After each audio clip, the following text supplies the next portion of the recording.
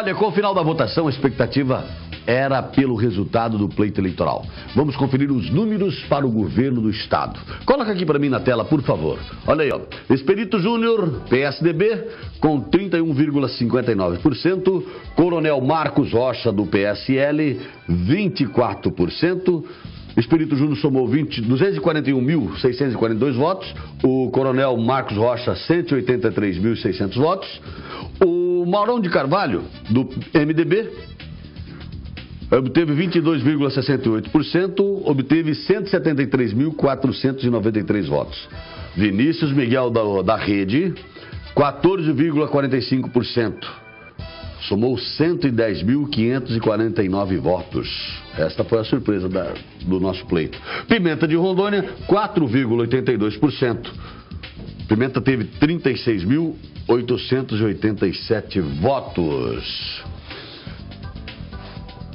Agora, os dois candidatos que foram para o segundo turno falaram com a nossa reportagem, é o que a gente vê agora.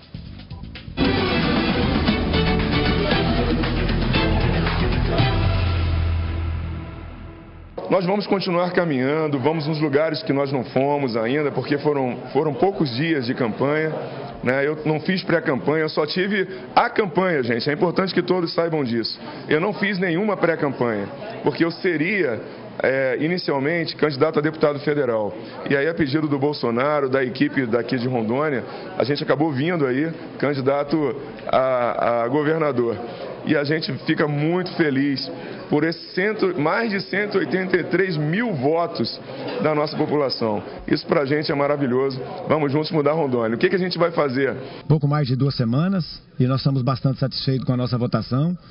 É, mais de 50 mil votos na frente do segundo colocado, ou quase 60 mil votos na frente do segundo colocado, e agora se começa tudo de novo. É uma estratégia política que se, que se avizinha, é sentar com toda a equipe, é discutir os programas é, de governos, enfim, é, é sentar, ah, não, saímos, não vamos sair da nossa linha, porque a nossa linha é, o, entendor, o eleitor entendeu, né, porque nos fez o governador mais votado agora no primeiro turno e assim, com uma diferença grande. Agora, o que nós precisamos? Nós sabemos que nós precisamos discutir a estratégia e agora eu vou ouvir a equipe também e a partir de amanhã já uma nova vida e uma nova campanha.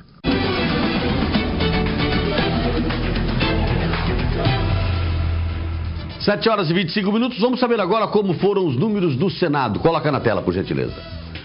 Marcos Rogério do DEM obteve 24,6%, 324.689 votos. Foi eleito. Confúcio Moura, também eleito ao Senado do MDB, com 17,5%. Obteve 230.092 votos.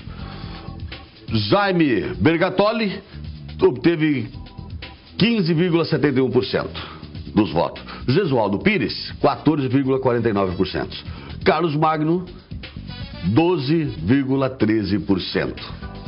E agora a gente vai ver a entrevista com Marcos Rogério e Confúcio Moura.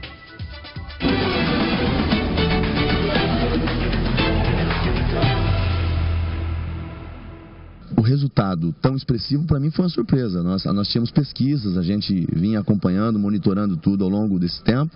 Né? Nós estávamos crescendo, é, tinha a expectativa real de vencer as eleições, mas ter uma margem de, de quase 100 mil votos na frente do segundo colocado, para mim foi uma surpresa. Né? E uma surpresa muito boa, muito agradável. Isso me passa realmente a, a impressão, a, a, convicção, na verdade, de que vale a pena fazer escolhas, vale a pena fazer escolhas certas, né? Foi muito importante e para Ariquemes, para Rondônia foi também muito, muito bacana.